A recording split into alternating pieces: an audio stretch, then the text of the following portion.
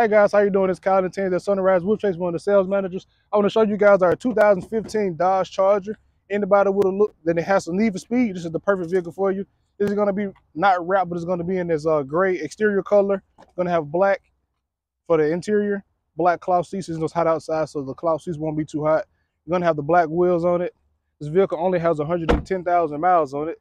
You already got the black wing on it, sport model. It's a pretty, pretty fun, safe, and also a fun family vehicle. For any more information on this vehicle, give us a call at 901 881 2121. Thanks so much.